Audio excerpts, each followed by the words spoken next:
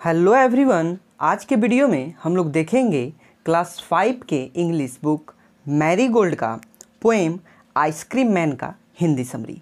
तो चलिए देर ना करते हुए वीडियो को शुरू करते हैं। Ice cream man.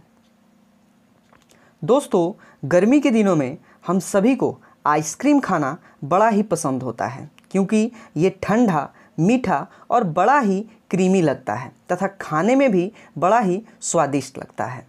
गर्मी के दिनों में लगभग सभी लोग आइसक्रीम को चखना पसंद करते हैं। तथा मुझे लगता है कि गर्मी के मौसम में उनका जो फेवरेट व्यक्ति होता है, वो भी आइसक्रीम वाला ही होता है, जो उनके लिए प्रत्येक दिन आइसक्रीम उनकी गलियों तक पहुंचाता है।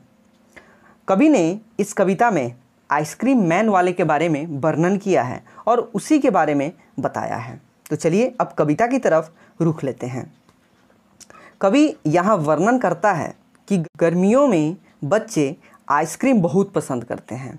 गर्मी के दिनों में आइसक्रीम वाला उनकी गलियों में अपनी गोल छतरी से ढकी हुई गाड़ी के साथ आता है तथा उसके पास अलग अलग रंगों के तथा अलग अलग स्वाद वाला आइसक्रीम भी होता है, जिनमें वनीला, चॉकलेट, स्ट्रॉबेरी ये सभी फ्लेवर उसके पास मौजूद होता है। तथा उसके पास जो आइसक्रीम के जो सेप होते हैं, वो भी अलग अलग सेप में होते हैं और अलग अलग रंगों में होते हैं। कुछ ब्राउन होते हैं, कुछ वाइट होते हैं तथा जो सेप होता है, वो भी कोनिकल होता है। कुछ गोल सेप में अलग अलग सेप और साइज़ में उनके पास आइसक्रीम मौजूद रहता है तथा बच्चे जब आइसक्रीम को खाते हैं और जो आइसक्रीम मैन के पास अलग अलग स्वाद वाला जो आइसक्रीम होता है, उन्हें बच्चों को चखना बड़ा ही अच्छा लगता है।